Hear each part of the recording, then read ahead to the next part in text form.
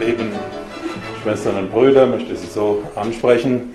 Wenn wir ans des Konzils erinnern, geht es ja darum, das Konzil als ein kirchliches Ereignis zu verstehen. Selbstverständnis der Konzilien handelt es sich ja um eine Versammlung zur Ehre Gottes, um die Offenbarung, das Wort Gottes einleuchtend darzustellen und ist das Konzil hat einen Auftrag der Verkündigung, der Vergegenwärtigung des Wortes Gottes. Ich möchte einmal mit einer kleinen Anekdote, einem wahren Begebnis beginnen. Gestern waren wir in Neunkirchen, im heiligen Dionysius, 100 Jahre äh, Jubiläum des Kirchenbaus und war dann wunderbare Liturgie. Anschließend im Pfarrheim haben sich so drei kleine Kinder, Kindergartenkinder, dann zu mir hingesellt und sie wollten einfach nicht mehr von meiner Seite weichen. Äh, die Eltern haben das äh, verzweifelt versucht, sie da irgendwie loszueisen, weil ich dann auch weg musste. Dann hat sich irgendjemand erbarmt aus der großen Gemeinde und ist zu mir gekommen und hat gesagt, Herr Bischof, das müssen Sie verstehen. Diese Kinder haben keinen Opa mehr. also zwei Generationen. Das bedeutet ja Opa im Verhältnis zu diesen Kindern. Und das ist eben genau die Zeit auch des Zweiten Vatikanums, die ich selber in meiner Kinder- und Jugendzeit ja miterlebt habe. Erst zuerst miterlebt, vielleicht so als 14, 15, 16-Jähriger. Habe dann auch schon vieles dann in der Kirchenzeitung gelesen oder sogar im Feuilleton der Frankfurter Allgemeinen schon, was so an Kommentaren gelaufen ist und vieles andere dann auch über die Pfarrei und natürlich über das Gymnasium, Religionsunterricht mitbekommen. Später natürlich im Theologiestudium habe ich nicht nur über das Konzil dieses und jeden Kommentar gehört, sondern natürlich auch die gesamten Texte, die 16 Konstitutionen und Erklärungen und so weiter, 16 ähm, Dokumente des Zweiten Vatikanums natürlich dann studiert und mir dann auch, als ich dann später als Professor tätig gewesen bin, mir so zu eigen gemacht, dass das Zweite Vatikanjahr für uns gleichsam so den hermeneutischen Rahmen darstellt, die Grundoption, wie wir Kirche im Heute verstehen. Nun, als Jugendlicher, als Kind und Jugendlicher ist man vielleicht mit dem konkreten praktischen Leben der Kirche zutiefst verbunden, wenn man so als Ministrant sozialisiert worden ist, auch noch in der früheren Liturgie, das Stufengebet dann gelernt hat. Mir ist ein bisschen leichter gefallen als meinem Bruder, weil wir dann schon zehnten, äh, mit zehn Jahren der ersten, vierten Klasse, fünften Klasse dann schon Latein gehabt haben. Das gleichzeitig für mich dann auch noch mit dem Schott zusammen dann eine Übung mit Latein gewesen ist. Aber jedenfalls sind wir so als Kinder und Jugendliche in der früheren Liturgie, der Farben der früheren Liturgie sozialisiert worden und dann beim Beginn des Theologiestudiums, zunächst dann auch in den ersten Semestern mit der Liturgie, Konstitution Sacrosanctum Concilium konfrontiert worden. Das ist ja, glaube ich, etwas die Liturgie, was für die meisten Gläubigen, die jetzt nicht Fachtheologen sind, unmittelbar ins Auge springt und sie eben am meisten betrifft. Die Liturgie ist ja für uns eine ganz tiefe, uns emotional auch tief erfassende Begegnung mit Gott, der Gemeinschaft der Gläubigen. Der Heilige Vater sagt ja immer wieder auch, das Schicksal der Kirche heute ist die Liturgie, das zentrale Tun der Kirche, die Quelle, aus der alles hervorgeht, aber auch der Zielpunkt, dem alles zustrebt, freilich in Verbindung auch mit der Diakonia, ganz im karitativen Bereich, dem gesellschaftlichen Wirken der Kirche und zusammen mit der Martyria, das ist ein Thema der Seelsorge und der Verkündigung, alles was mit diesem Bereich eben auch zusammenhängt. Nun, die Liturgie und die Liturgiekonstitution und die Anregungen und der Bestimmungen, die sind, spielen ja bis in die Gegenwart eine Rolle bis vor unserer Haustür Salzkofen, wo ja die Position vertreten wird. Hier sei das Zentrum des kirchlichen Lebens gleichsam gestört oder sogar zerstört worden. Hier hätte man sozusagen eine neue Liturgie begründet. Nun, ich hatte das Glück zu Hause in unserer Pfarrei, dass wir schon von der liturgischen Bewegung auch und den Gedanken, die sich dort vollzogen haben, Romano Guardini ist ja auch ein Mainzer Priester gewesen, sodass das ja unmittelbar jetzt in dem Erlebniskontext meiner Jugend sich ansiedelt. Äh, die liturgische Bewegung hat ja schon gleichsam die Vorarbeit geleistet, die dann am Ende gleichsam als Frucht äh, sichtbar wird in der Liturgiekonstitution und ihren Bestimmungen. Insofern habe ich das auch lebensgeschichtlich nicht irgendwie als einen Bruch erfahren, weil wir auch die Liturgie in der alten Form nicht einfach nur so gedankenlos mitvollzogen haben, sondern in ihre Idee, in ihren Grundvollzug schon eingedrungen sind. Es gab ja damals so in dieser Übergangszeit auch schon Bet-Sing-Messen, haben wir gesagt, wo wir dann als äh, Lektoren oder größere Ministranten eben auch schon die lateinischen Texte, soweit es eben möglich war, parallel laut vorgetragen haben, sodass dann auch diese Kluft zwischen dem, was der Priester vorne am Altar tut und dem, was die Gemeinde dann auch betend, mitverstehend, mitvollziehen, nicht äh, so groß gewesen ist, wie das vielleicht bei anderen der Fall war, die die Erneuerung der Liturgie als einen Bruch empfunden haben, Bruch in der gewohnten Art und Weise, wie die Liturgie gefeiert wird, aber auch Bruch, wie ja manche eben sagen, bis in die theologische Substanz hinein. Das Zweite Vatikanische Konzil ist ja insgesamt jetzt nicht einfach vom Himmel gefallen, plötzlich jetzt irgendwie hervorgetreten, sondern hier finden wir eine Zusammenführung der großen Bewegungen, vielleicht so nach dem Ersten Weltkrieg können wir so ungefähr ansetzen. Die schon genannte liturgische Bewegung, 1919 ja schon das Buch vom, von Guardini über die Liturgie, der Geist der Liturgie, dann aber auch die biblische Bewegung, Theologie, das kirchliche Leben, das geistliche Leben jedes Einzelnen soll noch stärker schriftorientiert sein aus dem großen Reichtum des Wortes Gottes sollen wir schöpfen. Deshalb ist auch damals schon dann auch immer die Lesungen Evangelium, immer auch dann im Sonntagsgottesdienst, immer auch in Deutsch dann nachher nochmal vorgelesen worden, also nicht mehr parallel, aber jedenfalls Evangelium wurde dann vor dem vor der Predigt ja eben klarerweise Deutsch auch vorgelesen, also biblische Bewegung, liturgische Bewegung, patristische Bewegung, nicht einfach nur die Neuscholastik, sondern die Theologie in ihrem ganzen Reichtum, auch die Vätertheologie sollte wieder voll aufgegriffen werden und dann auch die Erneuerung in dem Verständnis der Kirche, über die wir dann nochmal eigens reden müssen, wegen dieser großen Bedeutung der Kirchenkonstitution Lumen Gentium. Jedenfalls so lebensgeschichtlich bin ich so hineingewachsen in neue Form der Liturgie. Was ist eigentlich das äh, Entscheidende worauf es hier ankommt, sollte ja nicht irgendwie kosmetisch das oder jenes mal geändert werden, im Sinne, dass wir so äh, im Sinne der heutigen Massenpsychologie, äh, Fernsehzeitalters irgendwie besser ankommen, das als leichtere Unterhaltungskost jetzt vortragen, sondern es ging ja darum, die äußere Gestalt so zu ordnen und den Ablauf der Riten so durchsichtig zu machen, dass man sie auch nach vollziehen kann, sie nicht nur betrachtet wie in einem Theater, irgendwie das, was vorne sich abspielt, sondern dass es einen aktiven Mitvollzug gibt.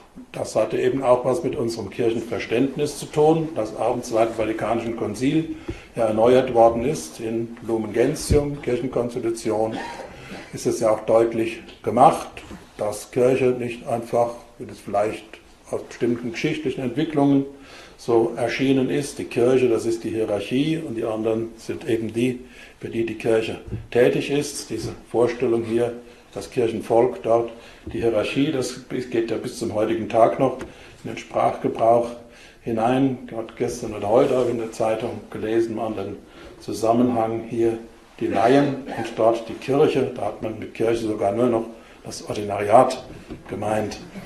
Also wir wissen, wie viel unterschiedliche Begriffe von Kirche es gibt, wie das oft ja, durcheinander geht, ist die Ortskirche, Kirche von Regensburg und die Universalkirche. Aber hier eben auch Kirche, die dann reduziert wird auf die Hierarchie, dem dann irgendwie die Basis entgegengestellt wird, als ob die Laien die Basis der Kirche sein könnten. Basisüberbau, das ist ja marxistische äh, Soziologie.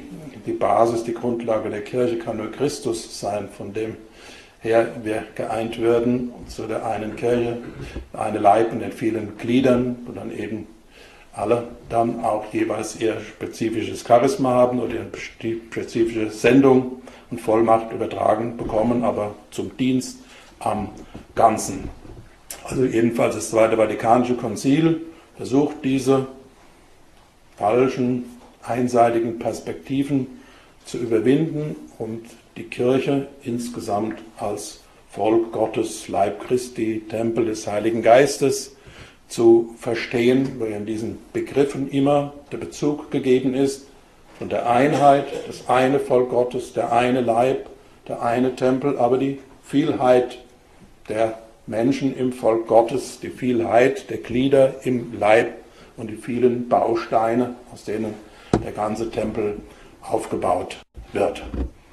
Wir hatten ja von der Reformationszeit her uns katholisch-evangelisch gemeinsam bewegende Thematik, Spannung auch, äh, die es auch wert ist, immer zu bedenken, was man so theologisch, fachtheologisch sagt, das Verhältnis von gemeinsamen Priestertum aller Gläubigen, die wir durch die Taufe, durch die Firmung einbezogen werden in den Leib Christi und eben das besondere Priestertum, der priesterliche hirtenmäßige Dienst derer, die aufgrund des Apostelamtes dann später als Bischöfe und Presbyter, Priester, wie wir sagen, tätig sind und Christus als das Haupt des Leibes vergegenwärtigen aufgrund dieser besonderen Sendung, die sie empfangen haben, nämlich im Sakrament der Weihe, Kraft des Heiligen Geistes, Christus selber zu sprechen, zum Handeln, in der Kirche zu bringen, also das Amt des Lehrens, des Leitens und des Heiligens. Nun, wenn die Kirche von der Taufe, von der Firmung her eine innerlich geordnete und zusammengefügte Gemeinschaft mit Christus ist als dem Haupt dieses Leibes, dann muss ich das auch eben in der Liturgie ausdrücken, denn die Liturgie ist ja nicht nur etwas, was wir auch noch tun in der Kirche, sondern die Liturgie ist ja sozusagen der Wesensausdruck der Vollzug, der sichtbare Vollzug von dem, was Kirche eigentlich ist. Und deshalb kann es in der Liturgie, theoretisch gab es es natürlich nie, aber vom Erscheinungsbild her war es so, die einen die Zuschauer und die anderen die Akteure am Altar, die Zuschauer im Kirchenraum. Das kann ja eigentlich nicht so in dem Sinn theologisch richtig sein und deshalb auch die Reform, die äußere Darstellung, das Bewusstsein muss nun eben auch geschärft werden, dass wir mit Christus eine einzige Aktionseinheit darstellen. Und deshalb dieser Kernsatz der Liturgiekonstitution, dass wir tätig und bewusst und aktiv handelnd mit Christus, dem Haupt der Kirche, eine Einheit bilden. Und dass deshalb dieser scheinbare Unterschied jetzt zwischen einer bloß versorgten Gemeinde, mit Liturgie versorgten, mit den Früchten der Sakramenten versorgten Gemeinde und dem handelnden Teil der Kirche, dass dieser Eindruck nun eben auch überwunden wird. Das ist jetzt nicht eine neue Liturgie, denn wenn man die Messtexte sieht im alten Messbuch, das ja nicht nur auf das Konzil von Trient zurückgeht, seit dieser Zeit gab es auch wieder, immer wieder einige äh, Formen der Liturgie, Liturgie äh, Reform und Erneuerung, die Osternacht, das wissen alle noch von Pius XII., diese Struktur sichtbar machen, was eigentlich jetzt hier vollzogen wird im Mysterium, aber vor dem Konzil von Trient gab es auch viele andere Formen, Riten in der Liturgie und auch im Laufe der Jahrhunderte natürlich immer wieder auch Veränderungen. Aber das sind eben nicht, wie das jetzt von den Piusbrüdern behauptet wird, fälschlich behauptet wird, Änderungen in der theologischen Substanz, der Sakramente. Das kann ja die Kirche nicht. Das Konzil von Trient sagt ja ausdrücklich auch, dass die Kirche nicht die Vollmacht hat, die die Substanz der Sakramente einzugreifen, aber die Vollmacht hat, den äußeren Ritus zu ordnen und darum eben auch das Recht hat, dann auch dann und wann, wenn es eben angesagt ist, eine Liturgiereform in die Wege äh, zu leiten. Also die Grundsubstanz der Eucharistie, diesem Sakrament verdeutlicht, ist uns ja klar vorgegeben in der Einsetzung der Eucharistie beim letzten Abendmahl und dann in frühester Zeit verbunden mit der Liturgia Verbi, sodass wir die zwei unveränderlichen Hauptteile haben, Wort Gottesdienst und eben der eucharistische Gottesdienst im engeren Sinn mit der Gabenbereitung, dem eucharistischen Hochgebet und dem Kommunionteil, wie wir es ja kennen, mit den beiden einleitenden Teilen und dem Schlussteil mit der, dem Segen und der Sendung in die Welt, geeint um Christus, gestärkt durch seine Gnade, nimmt die Kirche nun an der Sendung Christi teil, wie mich der Vater gesandt hat, so sende ich euch, denn wir feiern die Liturgie nicht, um jetzt innerlich äh, ein schönes Erlebnis zu haben, wie wir bei einem Konzert dabei sind, sondern wir feiern ja die Liturgie, um gestärkt von Jesus Christus, erfüllt vom Heiligen Geist, das Evangelium, die frohe Botschaft zu verkünden und auch im Zeugnis zu leben, weil Gott will, dass alle Menschen zur Wahrheit und zur Erkenntnis der Wahrheit und zum Heil gelangen sollen, denn alle sind ja, wie wir auch, Geschöpfe Gottes und deshalb sind wir nicht als Kirche privilegiert, wenn wir dazu berufen sind, sondern wir sind in besonderer Weise beauftragt, aufgrund dieser Berufung an der allgemeinen Sendung zum Heil nun auch teilzunehmen. Und deshalb sind eigentlich wenige Änderungen vorgenommen worden in der Eucharistie. Bei den anderen Sakramenten sollten gewisse Verdopplungen, bestimmte Strukturunklarheiten, Abfolgeunklarheiten überwunden äh, werden. Das ist eben auch so geschehen. Wer das alte Altritus mit dem neuen vergleicht, dem fällt es in die Augen natürlich die Substanz die gleiche ist und auch der gewachsene lateinische Ritus jetzt bei uns voll und ganz erhalten geblieben ist. Aber es ist, glaube ich, sehr durchsichtig und einsichtig wenn man sich bewusst und tätig hineingibt, was hier geschieht. Zentral eben das Wort Gottes wird uns verkündet, aber es ist nicht nur ein Wort Gottes im Sinne der Belehrung, sondern ist ja Christus, dem wir in dem Wort Gottes der Lesung im Evangelium begegnen, personal begegnen, Christus, der unser menschliches Leben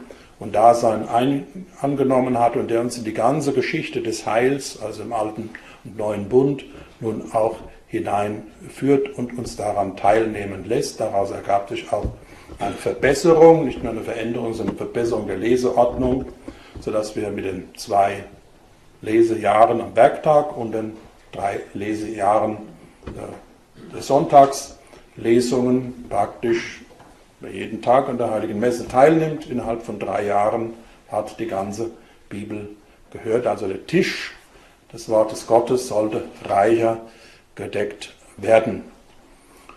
Und dann eben eucharistischer Teil werden wir bereitet, die Gaben werden bereitet, aber die Gaben von Brot und Wein sind ja auch Hinweise auf uns selber. Die vielen Tropfen des Weins werden gesammelt und zu einer Einheit zusammengefügt. Die vielen Körner werden gemahlen zu einem Mehl, zu einem Brot zusammengefügt. Das ist ein Bildwort, das wir schon in der Didache im Ende des ersten Jahrhunderts, Anfang zweites Jahrhundert finden, also was in der Gabenbereitung dargestellt wird, Bereitung der Gaben und Bereitung der Herzen.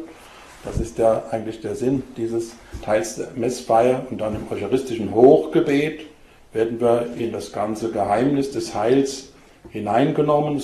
Alle unsere vier eucharistischen Hochgebete, auch die Kinderhochgebete, äh, haben ja eine trinitarische Struktur. Es wird immer der Vater angeredet, dann kommt das Heilsereignis in Christus mit dem Höhepunkt der Wandlungsworte, der Werbung Domini, aber auch der Epiklese, Sendung des Heiligen Geistes, dann die Weitung in die ganzen Heilsereignisse hinein in die Kommemoration der Heiligen und unserer Verstorbenen. Dann kommt ja wunderbar dann die Doxologie, Ehre und Herrlichkeit, alles auf Gott, den Vater, durch Christus im Heiligen Geist. Dann folgt ja beginnend mit dem Vater unser, dann der Kommunion Teil, der so mit Christus verbunden ist, mit seinem ganzen Heilswerk, mit seiner Hingabe an den Vater, nimmt nun auch teil an Jesus Christus selber, der uns ja zur Speise und zum Trank für das ewige Leben geworden ist. Ich glaube, das ist ganz leicht nachzuvollziehen und hier soll auch der Sprung oder sagen wir mal der, äh, die Differenz zwischen Leben und dem, was eine Liturgie darstellt, überwunden werden, weil ich mich ja selber ganz hineingebe in dieses Geschehen, mich mit Christus aber auch mit all denen, die zu Christus gehören, vereine und die Bewegung hinziehe, mitvollziehe zu Gott dem Vater hin, der uns im Heiligen Geist durch Jesus Christus auch wieder alles schenkt, sodass wir Gott begegnen als Wahrheit und als Leben. Also diese tätige, bewusste, aktive Mitfeier. Alle Glaubenden aufgrund des gemeinsamen Priestertums und aufgrund des Weihepriestertums. Nun gab es sicher eine Hürde, nämlich für den Mitvollzug, nämlich die uns gewohnte lateinische oder woanders auch griechische oder kirchenslawische Sprache.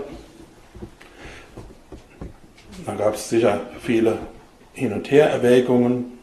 Die eine Sprache, Latein, äh, die dann in der ganzen Kirche verbreitet ist und darum auch ähm, ein Band der Einheit darstellt, aber auf der anderen Seite, wie viele konnten oder kennen Latein und deshalb diese Grundentscheidung, dass eben den Muttersprachlichen ein großer Raum in der Liturgie gewährt werden soll bis zum heutigen Tag.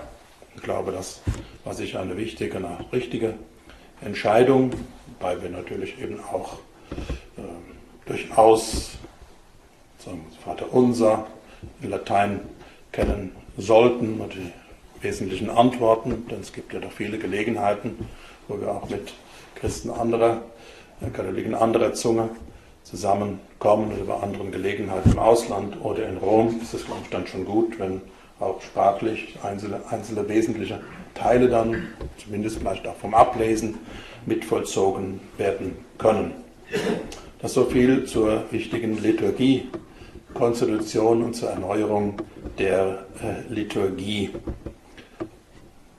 Hier gibt es vielleicht auch Missverständnisse, es gab dann auch manche Missbräuche oder falsche Verständnisse oder falsche Formen der Einführung, dass man einfach gesagt hat, vorher war das publizistisch so und ab heute wird es einfach so vorgeschrieben von der kirchlichen Autorität, machen wir es anders.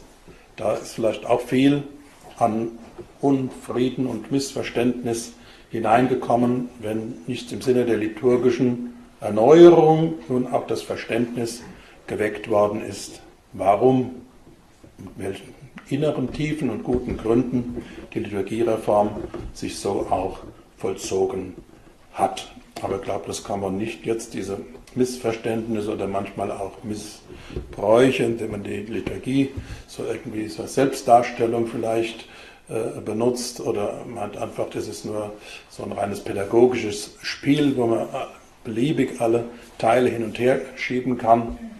Aber ich glaube, das hat sich doch im Großen und Ganzen, glaube ich, gut geregelt, auch bei uns im Bistum Regensburg, das liturgische Verständnis und auch das Verständnis für den Zusammenhang von Inhalt und von Form. Eine gewisse Form muss man ja auch äh, einfordern können. Wir treten vor das Angesicht Gottes. Wir sind aber mit unseren Brüdern und Schwestern verbunden. Die Verehrung Gottes, die Anbetung Gottes, aber auch das Bewusstsein der Communio, der Gemeinschaft, in die wir hineingerufen worden sind, eine Gemeinschaft, die uns auch trägt.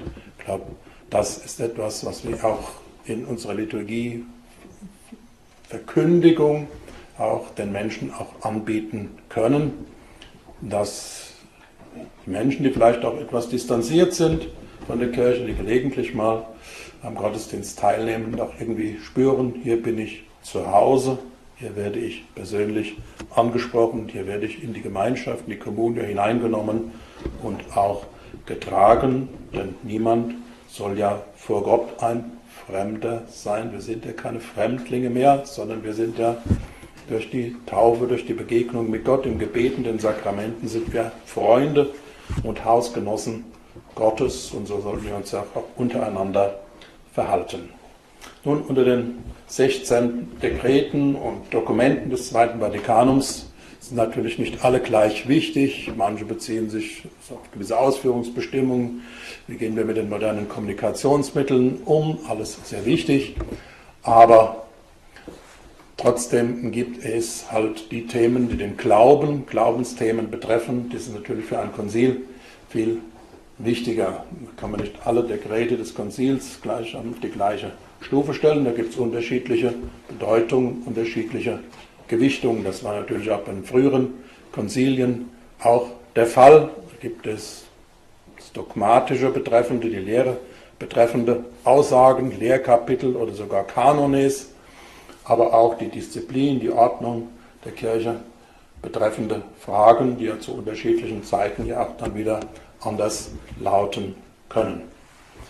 Und wir wissen es, dieses Konzil unterscheidet sich von den anderen ökumenischen oder Konzilien oder auch Provinzialkonzilien. Damals in Zeiten von Augustinus gab es in Nordafrika bei der Gnadenlehre Donatisten wichtige Provinzialkonzilien, die aber später praktisch den Rang von ökumenischen Konzilien hatten, eingenommen haben, weil das allgemein rezipiert worden sind. Aber wir kennen auch diese ökumenischen Konzilien, den ganzen Erdkreis umfassend, beginnend mit dem Konzil von Nicäa, wo es um die Gottheit Christi ging, dann Konzil von Trient ist natürlich auch allgemein bekannt, wo es dann um das Profilierung des katholischen Glaubens ging in den ganzen Auseinandersetzungen der Reformationszeit bis hin eben zum Ersten Vatikanischen Konzil und dann jetzt eben zum Zweiten Vatikanischen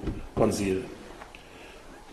Und das sind die drei Konzilien der Neuzeit, die alle unter so bestimmten Voraussetzungen stehen, die sich doch von den patristischen Konzilien der alten Zeit auch unterscheiden, weil der geistige Horizont ganz anders ist, der kulturelle Umkreis.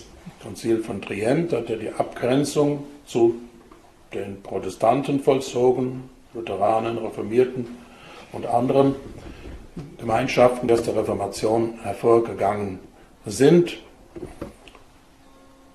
Das Konzil hatte damals nicht beansprucht, gleichsam den ganzen katholischen Glauben darzustellen. Und deshalb sind auch manche wichtige Aspekte vielleicht gar nicht jetzt voll und ganz ausgearbeitet worden, jedenfalls nicht in den Texten des Konzils selber, aber im römischen Katechismus aufgrund des Konzils von Trient, der bringt viel größere Zusammenhänge als jetzt nur die einzelnen Abgrenzungsformulierungen. Und auch im Ersten Vatikanum hat man ja nicht ursprünglich einen Plan verwirklichen können, eine Gesamtdarstellung von Leben, Sendung, Wesen der Kirche zu geben, sondern aufgrund dieses französischen, deutschen Kriegs und so weiter musste das Konzil vorzeitig beendet werden und da ist eigentlich dann nur übrig geblieben ein Kapitel, das sich mit dem Primat des Papstes, Jurisdiktionsprimat und Lehrprimat nun auch beschäftigt. Aber die Frage war immer das Desiderat, wie ist das eigentlich einzuordnen in den Gesamtzusammenhang unseres Kirchenverständnisses. Und hier hat das Zweite Vatikanische Konzil so einen gewissen Paradigmenwechsel, vielleicht das war zu hoch gegriffen, äh, vollzogen, nämlich jetzt nicht durch Abgrenzung gegen andere Lehrmeinungen den katholischen Glauben darzustellen, sondern einfach ohne sich von diesem oder jenem abzugrenzen, einfach zu sagen, was sagen wir es einfach positiv von unserem katholischen Verständnis von Wesen und Sendung der Kirche. Das hat auch den Vorteil gehabt, dass dann auch bestimmte Lehraspekte der evangelischen Theologie besonders akzentuiert worden sind, durchaus aufgegriffen werden konnten, besonderes Verständnis der Bibel, als Wort Gottes, dann in Dei Verbum heißt er dann die Offenbarungskonstitution über die göttliche Offenbarung, also gewisse wechselseitige Annäherung im Verständnis des Wortes Gottes und des Evangeliums und der Offenbarung überhaupt, aber auch dann hier gerade bei der Kirchenkonstitution diese alte Gegenüberstellung, allgemeines Priestertum oder was ist das ordinierte Amt, evangelisch gesprochen, oder was bedeutet uns bei uns der priesterliche Dienst, der sich aufgrund des Weihesakramentes ergibt. Von diesem weiteren Ansatz her sind dann, glaube ich, auch viele Kontroversen vielleicht nicht ganz überwunden worden, aber zumindest entschärft worden, indem man eben auch das Anliegen der anderen Seite positiv dann aufgreift und würdigt. Und hier ist, glaube ich, mit Dei Verbum, also zur Offenbarungskonstitution über die göttliche Offenbarung, mit Lumen Gentium, heißt ja das nach den Anfangsworten benannt, glaube ich, sozusagen das wichtigste Dokument des Zweiten Vatikanums, auch das ausführlichste, was uns vorliegt, zu benennen. Wenn man so sich rumhört, was ist die Kirche, habt ihr ja schon erstmal angedeutet, was da alles äh, für einseitige Aspekte dann genannt werden und die Leute sagen, ich trete aus der Kirche aus, weil ich mich über irgendwas geärgert habe und möchte dadurch irgendwie dem Bischof jetzt irgendwie etwas heimzahlen oder dem Papst oder sonst irgendwie oder ein Pfarrer, da hat man sich geärgert oder ein Religionslehrer, passt dann der Religionsunterricht nicht, der sagt, jetzt treten wir aus der Kirche aus. Was heißt das überhaupt aus der Kirche austreten? Da steht ja die Meinung dahinter, die Kirche ist ein Verein wenn ich irgendwie eintrete, passives Mitglied bin oder aktives Mitglied und wenn ich mich über den Vorsitzenden oder über den Kassierer ärgere, und dann trete ich halt wieder aus. Natürlich haben wir aufgrund der Religionsfreiheit, hat jeder die Möglichkeit, öffentlich zu sagen, da möchte ich dazu gerechnet werden oder nicht dazu gerechnet werden. Aber ich glaube, diese Perspektive ist ja nur so zivile, zivile bürgerliche Perspektive. Hier beginnt das Konzil nicht, nicht mit Forderungen an die einzelnen Gläubigen, sondern sagt im ersten Kapitel, ersten der acht Kapitel, de Mysterio Ecclesia, die Kirche im Mysterium Gottes. Mysterium, biblisch gemeint, Mysterium, nicht etwas, was irgendwie schwer verständlich ist, ein großes Gedankenrätsel, sondern Mysterium ist eigentlich ein anderes Wort für den Heilsplan Gottes. Gott hat vor, dass alle Menschen zum Heil kommen, aber er begegnet den Menschen auf unsere Weise, nämlich auf geschichtliche Weise und er tritt in unsere Geschichte ein. Schon im alten Bund her sehen wir die Berufungsgeschichten von Abraham vor Geschichte natürlich bis zur Schöpfung hin zurückgehend, aber die Berufung Israels, ein Volk aus vielen Völkern wird berufen, nicht um privilegiert zu sein, sondern um gleichsam Werkzeug zu sein, Zeichen zu sein für diesen umfassenden, universalen, am Ende der Zeit eintretenden, vollen Heilswillen Gottes gegenüber allen Menschen. Das geschieht nun nämlich konkret in Jesus Christus, in der Inkarnation, in der Menschwerdung und bleibt für immer gegenwärtig in der Sendung des Heiligen Geistes, Pfingstfest, über alles Fleisch wird der Geist Gottes aus gegossen und in diesem Licht des Heilswillens Gottes entsteht die Kirche als Gemeinschaft von Menschen, aber als Gemeinschaft von Menschen, die ganz in Christus verankert sind. Sie sind Zeichen für alle, die zum Glauben kommen sollen. Und die Kirche ist schon wie damals Israel eigentlich Werkzeug in der Hand Gottes durch dieses Volk wird er das Heil dann auch geschichtlich realisieren, dass er in seiner Ewigkeit her für uns Menschen schon bereitet hat. Und so müssen wir dann Kirche verstehen im Gesamten des Heilsplanes Gottes. Partikular, eine partikulare Gemeinschaft, weil ihr nur die zugehören, die auch ihr, Glaubensbekenntnis mitvollziehen, die in der Taufe hineingenommen sind in den Leib Christi und die auch ihre gesamte Ordnung, Grundordnung anerkennen. Aber die Kirche ist nicht für sich selber da, wir uns sonnen im Kreis von Gleichgesinnten Das ist ja immer ganz schön. Gibt es da keine Spannungen, keine Anfragen, aber es soll nicht so, so ein kleiner Club sein derjenigen, die unter sich bleiben wollen, sondern die Kirche ist immer gesendet hinein in die Welt mit allen Auseinandersetzungen, Spannungen, aber wie es in Gaudium et Spes heißt, warum ist eigentlich die Kirche in die Welt hineingesandt? Nicht irgendwie so als Fremdkörper, schon fremd in der Welt, weil sie nicht von der Welt ist, aber nicht einfach ein völlig unverdaulicher Fremdkörper, sondern an Freude und Hoffnung, Gaudium et Spes, an Leiden, Trauer und allem dem, was die Menschen bewegt, nimmt die Kirche teil, weil wir selber als Menschen auch von diesen menschlichen Grundfragen genauso bewegt sind wie die anderen, aber wir drücken den anderen nicht unsere Philosophien, unsere Gedanken auf, sondern, es ist dann so schön, in Gaudium et Spes, Kirche der Welt von heute, Kirche aber glaubt, ihr glaubt es und bezeugt es, dass all diese Grundfragen, wozu bin ich überhaupt auf Erden, woher komme ich, wohin gehe ich, wie kann ich überhaupt mit dem Leiden umgehen, dem Tod, der Endlichkeit, all dem, was da geschieht.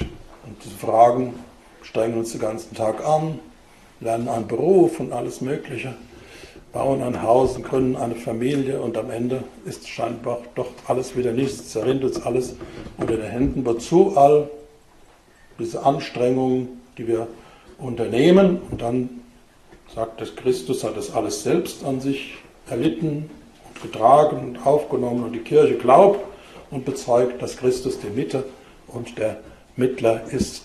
Die von Gott gegebene Antwort, Gott selbst ist die Antwort auf die Grundfrage, die der Mensch in seiner Kontingenz, in seiner endlichen Existenz selber ist. Und dafür ist eben die Kirche da, von Christus gewollt und eingesetzt im Laufe seines irdischen Wirkens, hat sie konkrete Gestalt angenommen, ist dann Pfingstereignis auch dann deutlich hervorgetreten, aber freilich Kirche auch schon, das wird ausdrücklich gesagt, schon angelegt im ewigen Heilsplan Gottes. Diese Communio von Vater, Sohn und Geist, dreifaltige Gott, das ist gleich schon das Urbild von Gemeinschaft mit Gott und in Gott, die dann konkret in der sichtbaren Kirche dargestellt wird und gleichzeitig auch das Mittel ist, indem wir diese Communio, die wir untereinander haben, vollziehen als Communio, die wir mit Gott haben, die in der Communio der Liebe der drei göttlichen Personen schon ihr unüberbietbares Urbild hat, von dem wir alle dann eher geprägt sind. Deshalb ist die Kirche, Kirche Gottes, Volk Gottes, die Kirche des Sohnes, Leib Christi, biblisch gesagt, die Kirche des Heiligen Geistes, Tempel des Heiligen Geistes und es gibt ja noch viele andere Bilder für die Kirche im Alten und im Neuen Testament, aber die Kirche ist vom dreieinigen Gott her geeint und sie ist in Christus Zeichen und Werkzeug, das ist ja, sind die beiden Elemente, die im Wort Sakrament stecken, also Sakrament für die innigste Vereinigung der Menschen mit Gott in der Liebe, wie auch für die Einheit der Menschen untereinander, auch für die Einheit der Menschen untereinander soll die Kirche Zeichen und Werkzeug sein.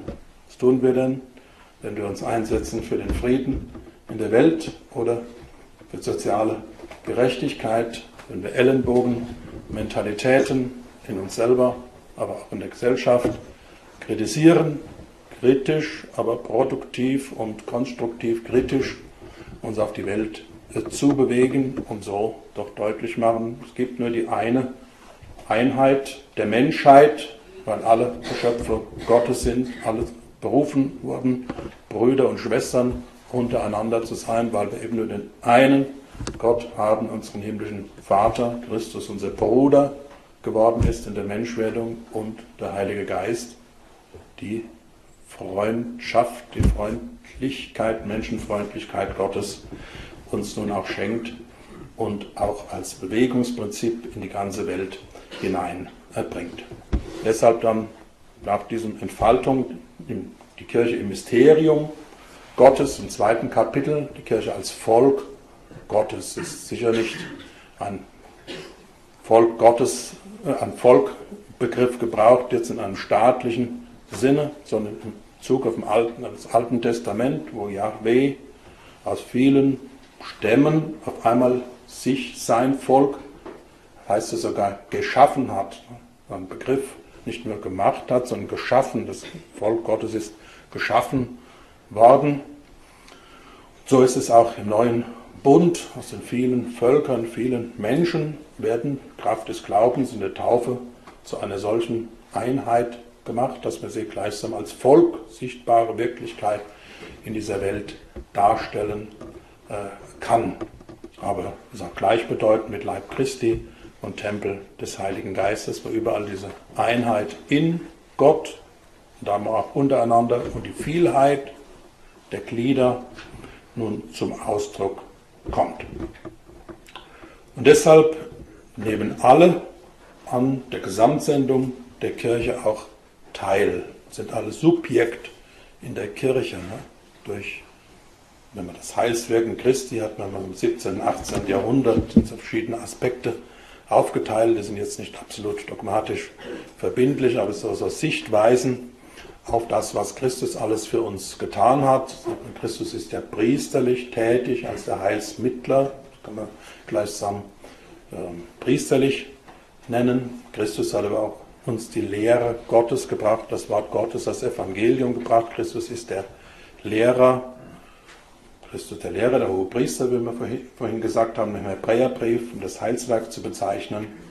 Aber Christus ist eben auch der König, königliche Amt Christi, nicht im Sinn von Analogie der weltlichen Herrschaft, sondern die Königsherrschaft, das Reich Gottes wird uns gebracht. Dein Reich komme, dein Wille geschehe, wo der Wille Gottes geschieht, getan wird, da ist Gott mitten unter uns gegenwärtig. Das ist auch die königliche Herrschaft Christi, also diese drei Ämter die drei Perspektiven, nehmen wir das eine, die eine Sendung Christi betrachtet. Das geht ja in gewisser Weise auch auf alle Gläubigen, auf die ganze Kirche und somit eben auch auf jeden einzelnen Gläubigen nieder äh, über. Aber das ist jetzt nicht im Anspruchsdenken und so weiter, ich bin jetzt auch was und so weiter gegenüber anderen. Oder dass man sagt, ich bin genauso wie du, äh, Herr Pfarrer. Darum geht es nicht, jetzt hier äh, Anspruchsdenken zu befördern, sondern die Verantwortung für das Ganze soll der Einzelne und die ganze Gemeinde sich zu eigen machen. Also alle sind wir Zeugen, ganz konkret schon in der Familie, zu Hause, die Eltern ihren Kindern gegenüber, sagen wir zu Recht, sind die ersten Stellvertreter Gottes, die ersten Zeugen, die von Gott sprechen, die Kinder beten, lehren, die eigene Existenz betend gleichsam zu erfassen, zusammenzufassen. Aber sind auch alle priesterlich tätig, insofern wir für das Heil der Welt da sind. Ungefähr das, was Dietrich Bonhoeffer einmal gesagt hat, wir sollen Kirche für andere sein. Nicht gehe in die Kirche, damit meine ästhetischen Gefühle oder meine ethischen Programme jetzt nochmal bestätigt werden, sondern wir sind ja Kirche für andere, so wie Christus, der Mensch, für andere gewesen ist. Das ist vielleicht eine moderne Übersetzung, das, was wir so das priesterliche Volk Gottes nennen, vom hohen priesterlichen Dienst Christi angefangen und soll ja königliches Priestertum sein. Das heißt hier königlich, nicht, dass wir ganz klar jetzt über die anderen uns erheben, sondern dass wir sehen, das Königtum Christi besteht eigentlich darin, dass er wie ein guter Hirte, wie ein Diakonos, wie ein Diener für die anderen tätig war. Das ist eigentlich die Herrschaft, die Gottesherrschaft, die auch durch uns in die Welt hineingebracht werden soll. Deshalb diese Teilnahme des ganzen Gottesvolkes und somit auch jedes einzelnen Christen an dieser priesterlichen, königlichen, prophetischen Verkündigungssendung, die Jesus Christus für uns hat. Und dann im dritten Kapitel geht es um die sakramentale, die hierarchische Verfassung der Kirche. Das Wort Hierarchie wird ja auch in unseren Medien oder sonst wo im Alltagsgebrauch immer falsch verstanden. Firmenhierarchien, eine äh, erhebt sich über den anderen, die, die Hackordnung geht von oben nach unten oder sowas. Das hat mit Hierarchie nichts zu tun. Das ist aus dem Griechischen genommen, bei dem Pseudo-Dionysius Areopagita, 6. Jahrhundert, ein Schriftsteller, da das, was wir sakramentale Ordnung nennen, nicht die Menschen geben die Ordnung für die Kirche, sondern Gott gibt selber die Ordnung für die Kirche. Das nennt er aus heiligem Ursprung. Das ist ja heiliger Ursprung, also ein Sakrum, ein, eine heilige Ordnung, die Gott der Kirche gibt, aber es ist nicht eine Ordnung der Herrschaft der einen über den anderen, sondern des besonderen Dienstes, den einzelne Glieder aus der Gemeinde, die dazu eigens berufen werden, für andere Dienste, für andere Christen tun. Das Ministerium, Verbi et Sacramentorum, der Dienst des Wortes und der Dienst der Sakramente und der Hirtendienst, der Hirtendienst, der sich an Christus ausrichtet, der gute Hirte, der eben gekommen ist, nicht da sich bedienen zu lassen, der Menschensohn, sondern um zu dienen. Gute Hirte gibt sein Leben für die anderen. Das ist sowohl geistlich wie auch theologisch sozusagen das innere Maß, die Spiritualität derer, die im Sinne des dritten Kapitels aufgrund des Apostelamtes zum Bischofsamt, Presbyteramt, Priesteramt, wie wir in Deutschland auch sagen, und zum Diakonendienst auch berufen sind, zu auch äh,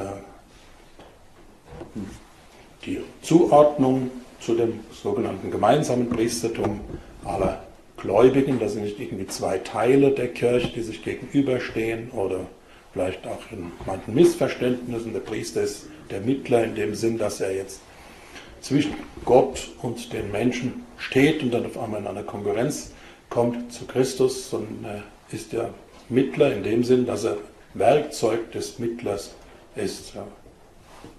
Bischof oder Priester kann, glaube ich, nicht die Gnade selber uns geben, aber er kann sie im Zeichen, so wie Christus in den Sakramenten eingesetzt hat, und so vermitteln, dass, wie Paulus sagt, danke euch, dass ihr mein Wort, mein menschliches Verkündigungswort nicht einfach als mein Wort angenommen habt, sondern als Wort Gottes, was es in Wahrheit ist. Gott spricht durch Menschenmund in den Zeichenhandlungen der Sakramente ist es eigentlich Christus selber, der die Gnade des Sakramentes uns vermittelt. Augustinus hat schon gesagt, Christus ist, wie Baptizat, Christus ist es, der eigentlich tauft. Die Taufgnade wird ja von Christus uns geschenkt, während das Taufzeichen von dem beauftragten, bevollmächtigten Diener Christi vollzogen wird. Dann firmungst es auch, weil man in Amberg und habe das auch in der Predigt natürlich so gesagt, ich kann euch jetzt nicht den Heiligen Geist vermitteln. Äh, ich komme ja nur im Auftrag Christi durch die Handauflegung und das Gebet vermittelt Gott selber euch seinen Heiligen Geist. Da stand dann in der Amberger Zeitung, der Bischof hält sich für Gott. Also kommt dann auch vieles auf Missverständnisse an, der theologische Hintergrund nicht klar ist, ist das nicht klar, wenn es eigentlich Christus ist, ist eigentlich der tauft, der firmt, der die Eucharistie vollzieht, der im Bußsakrament uns die Sünden vergibt. Kein Mensch kann Sünden vergeben, das wissen wir auch. Aber Christus hat ja der Kirche einen Auftrag gegeben, wem ihr die Sünden vergebt, dem sind sie vergeben. Wenn dieses Wort der Vergebung, der Absolution gesprochen wird. Durch den Mund des Priesters, ist es ja Christus selber, der die Sündenvergebung bewirkt, am Ehesakrament, deren Mann und Frau ihre Endlichkeit, menschlichen Schwäche, ja völlig überfordert, sagen zu können, bis der Tod uns scheidet, verspreche ich mich mit meinem ganzen Sein auf eine unbekannte Zukunft hin, die alles Mögliche bringen mag, verspreche ich mich dir ganz wie soll das möglich sein? Es ist Gott, der die beiden verbindet. Was Gott verbindet, soll der Mensch nicht trennen. Also das Eheband, die innere Gnade des Sakramentes, die nach über die bloße Trauung hinaus ganze Leben ja wirkt, die kann natürlich nur von Gott selber äh, kommen. Funktion nochmal haben in, in der Kirche, aber wenn man das zweite Kapitel richtig versteht, ist natürlich klar, dass alle, auch diejenigen, die nicht Priester sind oder nicht ein Ordensgelübde abgelebt haben, aber aufgrund von Taufe und Firmung auch voll und ganz Kirche sind, Kirche sind und die kirchliche Sendung hinaustragen in die Familie, in den Beruf, in das öffentliche Leben, dass jemand in der Politik engagiert oder auch in der Wirtschaft große, bedeutende Aufgabe hat, muss er immer, immer als Christ auch tätig sein, nach den christlichen Grundprinzipien. Das Gemeinwohl geht vom Eigenwohl und alle diese Aspekte müssen wir alle eben auch, besonders die Laien, tätig sein, aber natürlich sich auch innerkirchlich engagieren und die Gesamtsendung der Kirche nun auch mittragen bis in kirchliche Gremien hinein, ähm, die ja nicht jetzt ein demokratisches Kontrollgremium sind, sondern die aus der gleichen Wurzel herauskommen, nämlich die Sendung, die Anteilhabe an der Sendung der Kirche für die ganze Welt. Deshalb ist es auch gut, dass eben das auch institutionalisiert wird, zum Beispiel in der Pfarrei dieser Ebene oder der Diözese haben wir eben auch verschiedene Räte oder Gremien, die eben das auch so zusammenfügen, dass auch nicht der Eindruck entsteht, der Priester ist sozusagen der Alleinunterhalter, der Versorger äh, oder der allein jetzt in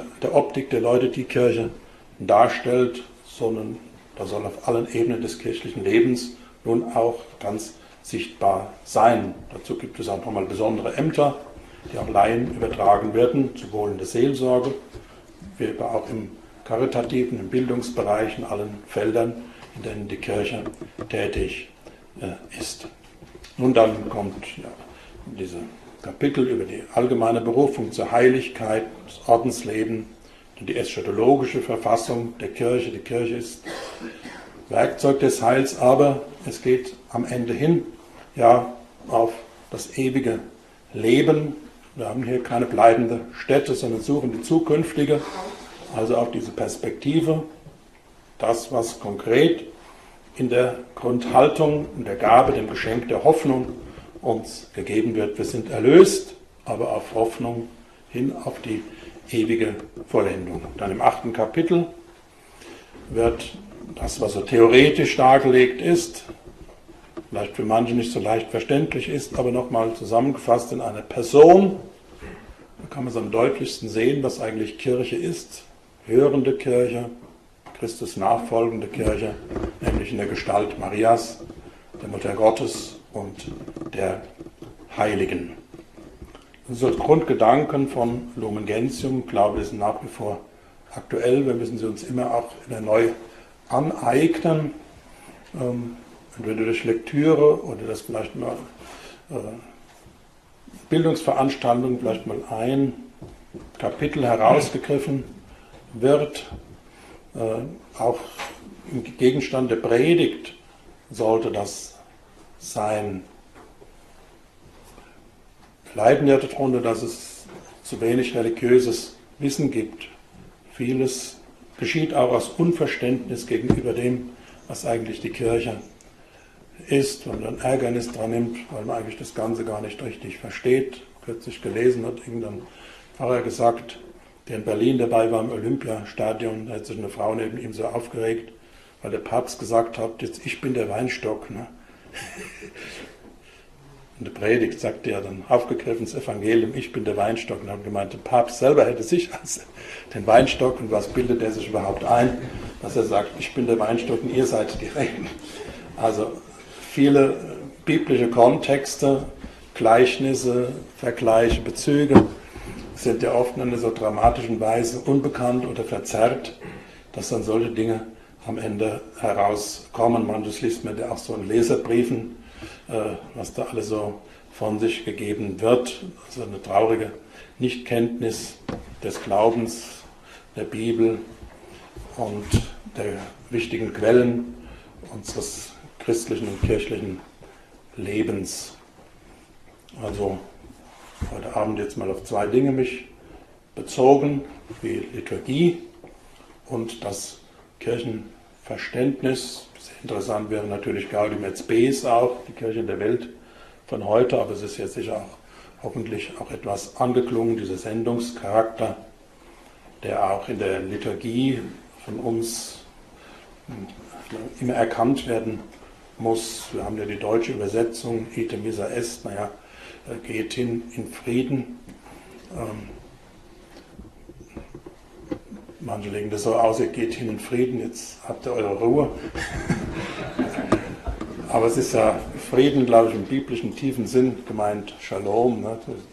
Gottes und Mensch, Verhältnis und das innere Erfülltsein vom Evangelium, von der Freude des Glaubens, von der Gewissheit auch, dass am Ende alles gut geht, jedenfalls denen, die Gott lieben, dass wir durch alle Prüfungen dieser Zeit äh, sicher hindurch gelangen können. Geht hin in Frieden und dass wir auch Boten, Botinnen, Zeugen sind des Friedens Gottes, der Shalom, das er in unsere Welt hineingebracht hat, in Christus, im Heiligen Geist. Konzil wollte und will ja nach wie vor die Kirche erneuern. Erneuerung in Christus haben wir auch als Programm jetzt in unserer Diözese. Es gibt einen Dialogprozess, aber nicht nur so radikal verstanden werden sollte, sondern der ursprüngliche Dialog ist ja, äh, wie es in De Verbum heißt, der beständige Dialog, das beständige Gespräch der Kirche als Braut mit dem Bräutigam, ein Dialog in der Liebe, in dem tiefen Gottvertrauen der Gottes und in der nächsten Liebe.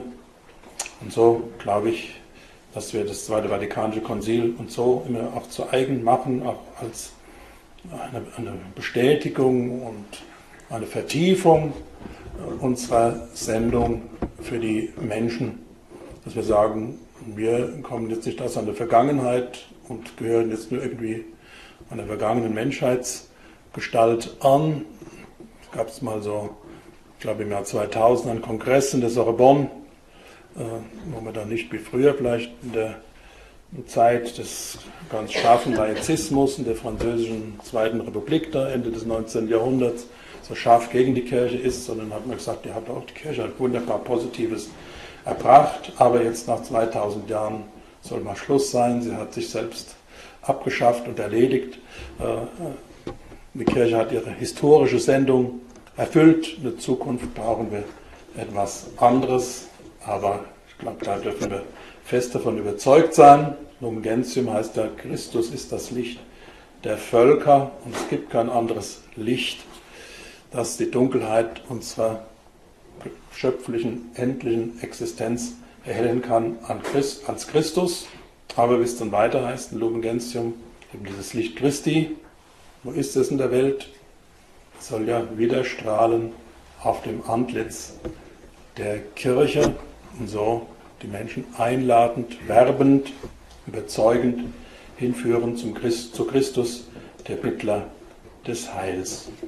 Das wünsche ich uns allen zum Konzilsjubiläum, nächstes Jahr 50 Jahre, Beginn des Konzils, aber auch, dass diese drei Jahre der Erinnerung auch ein Prozess werden, in dem wir uns vieles, was so an tiefen Gedanken und Überzeugungen geäußert wird, uns zu eigen machen und deshalb so auch ein bisschen aus der Lethargie herauskommen, äh, aus dieser Einstellung, ja, wir wissen nicht, wie es weitergeht, dass wir so ein bisschen hoffnungslos und resigniert werden angesichts der vielen Angriffe und vielleicht der berechtigten Kritik auf die Kirche insgesamt oder auf einzelne Personen in der Kirche, dass wir einfach ganz froh und gewiss sagen, wir kommen von Christus her und wir bringen eine wunderbare Botschaft, die uns alle trägt